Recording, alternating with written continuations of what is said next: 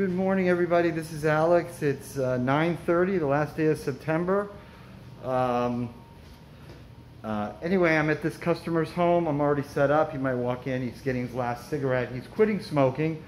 Um, anyway, uh, we're going to go ahead and treat the walls. This is a level five tobacco. This is absolutely horrible.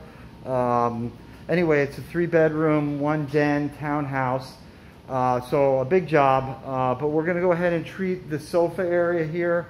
The sofa actually behind the wall there.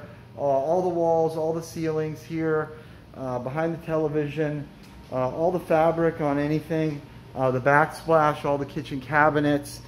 this is his master bedroom. He's got all this artwork, which we're to have to treat the back of it. We can't guarantee it, as he knows, and his linens. This is his level 5 tobacco. This is one of the strongest places um, I've ever serviced, to be honest with you. And um, I've been doing this for over 15 years.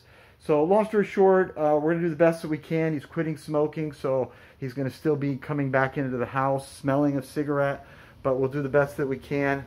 Uh, this is his bathroom. It's a beautiful place. Um, anyway, um, so there's that. There's the kitchen.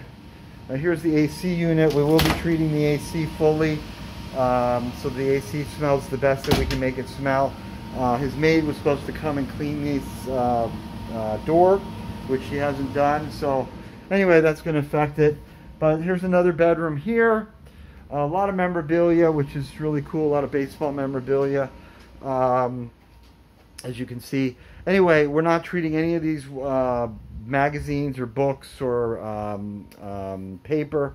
Uh, but we're doing the best that we can for him, and he understands that. This is his office. We're going to be servicing this as well. We've taken down the paintings, uh, the big pictures, excuse me, so that we can uh, service behind them because paper, cardboard, anything like that is super porous, especially in this severity of tobacco, is a magnet. And so we'll do the best that we can to treat that.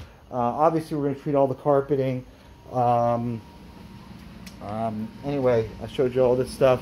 And then here's another bathroom here. So we'll service this. We'll see how much tar is being pulled out. And uh, we're going to leave him some chemicals so that he has um, uh, opportunity to do his laundry and get rid of the cigarette smell once he fully stops smoking. And uh, that's really basically it. All right, we appreciate everybody viewing, and we look forward to earning your business as well. Have a good day.